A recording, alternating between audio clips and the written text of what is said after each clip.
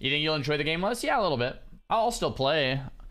I think everything will be fine. I'll just enjoy it a, a little less, which I think will reflect streams, which I think will reflect the community, which will reflect viewership, which will reflect AWC, which will reflect everything. So I think it's not healthy for the game,